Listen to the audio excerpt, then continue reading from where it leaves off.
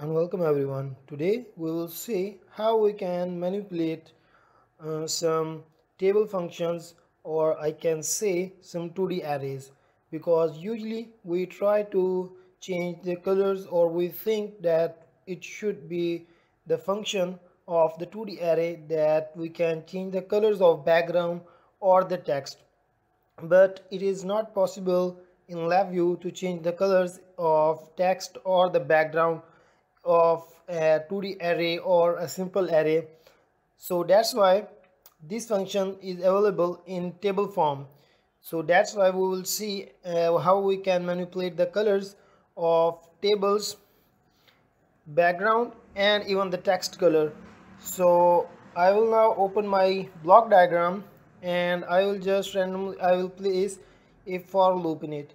And similarly I can draw another for loop why I have drawn for two for loops. Basically I will I want to create a 2d array to show you how it works. So for that purpose I will go to numeric control and I will place a random number generator. Right now automatically its lower bound is 0 and its upper bound is 100 so I will go with this random number generator what I want to do is I will create the output um, outer loop as 10 and the inner loop is also is I say 5 so I will just connect the output that will be the index automatically and similarly it will be indexed to uh, the output of first for loop will give me an array and the, uh, output of the second for loop will give me the 2d array so I will create an indicator to show you. So this is basically the 2d array. If I run this right now as you can see I have created one two three four five uh, columns basically and and and 10 rows. So that's here. I can even put the number names number of rows and I can put the name here as number of columns. So that's how an array is being generated. So as we can see we cannot change the colors of the array basically. So what we need to do is we will go to string function and we will convert that into number to fractional string. Either we can use number to decimal string but we will be comfortable with number to fractional string if in case you are using some DBL then it can detect some fractions fractions as well. So we will place right now um, table on my front panel and I will just drag it or I can adjust it. And then I will use this table to change it to indicator so that I can connect it with the table right now. As you can see all the values here will be automatically shifted to my table. So right now it is giving me in the fractional form and the, its fraction is right now is set it to be if I go to its properties its fractions is almost to the six digits basically. So if I go to the properties of this I cannot just select it right away.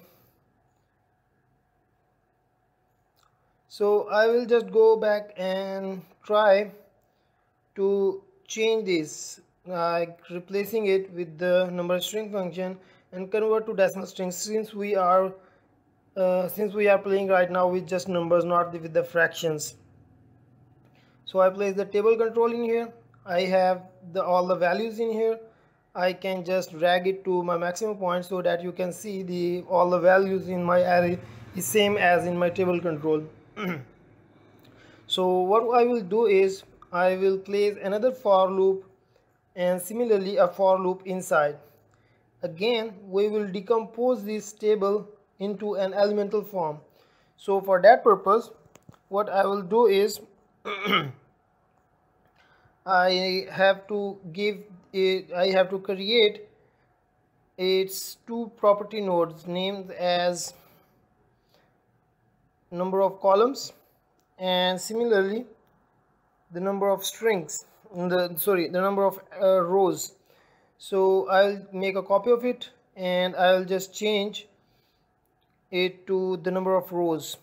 Right now the number of rows as you can see here shall will be connected to here and the number of columns will be go inside the for loop first for loop and will be connected to second for loop.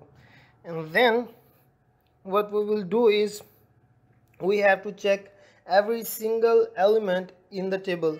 So for that purpose we will choose an index array function and we will connect it such that this will be connected in here. As you can see right now what it is doing is when it goes inside it is it is index function. That's why it is creating an error.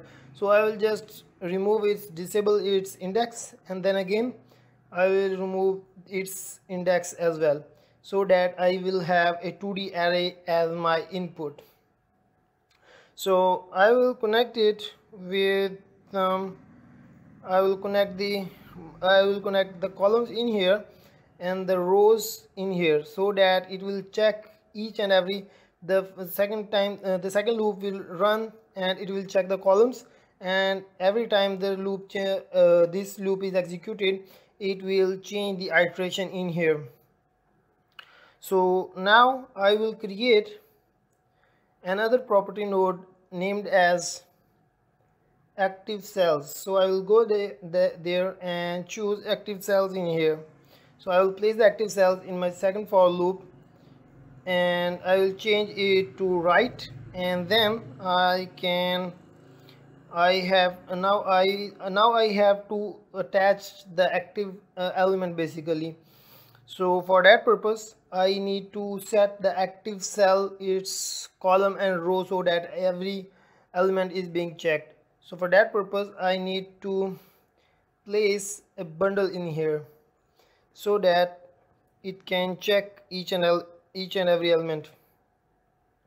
So right now this is my column and again as the output from here which is coming to the row will be connected to my bundle function so that this will give me the row and this will give me the column. Now I can attach to my active cell and I drop it down I can see the cell background color. And similarly if I drag it down I can I can change it to cell font to cell color basically. So now if I can set multiple conditions on in here that what should be the colors of my uh, background of the background colors and cell font color.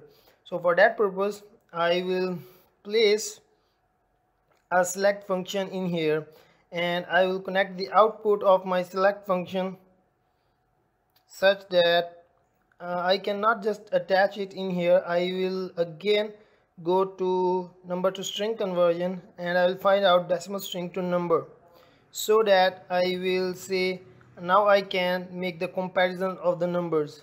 So I will place if my numbers are if my output numbers are sorry it's offset and the number is here so if my numbers are greater than 50 then I'll say then I can set the condition that if the numbers are greater than 50 they will give me the color of uh, basically I can just delete it from here. I can remove the broken arrow and I can just drag it in here and give this condition that if the numbers are greater than 50 then it should go and give me the red. Otherwise it will give me the color of let's say let's say light blue and it will be attached in here. And similarly I can just attach it to change the font color basically uh, also. So for the font color I will select that if the great number is greater than 50 then the font color should go yellow. And again I'll attach the condition in here. So if the and if the numbers are less than 50 then what will be the condition? We'll select that let's say that will give me the color of orange basically. So I'll attach in it here and I'll attach this to my cell font color basically. So I can just clean up my diagram and it will look more appropriate and easy to see. And now if I turn on to my block diagram a front panel if I run the program right now as you can see that the colors of my table is changed accordingly. I can go back and change the colors to green. And now if I press as you can see the colors of are changed accordingly. I can change my color to black right now so that it will give me more appropriate. So that's how you can change the colors as well. And you can change the font of your cells as well such that the cell size or the cell font should be bold or its size I can select its size. The size of the uh, cell font is right now let's say is 25 so if I go and press then as you can see right now it is uh, bigger and as you can see it is giving me a clear idea of what are the numbers and what are the colors. And the values which are greater than 50 are giving me the color change and as, uh, as well as the as well as the font color. So i hope you will like my video and i hope you will like it and share and subscribe. Thank you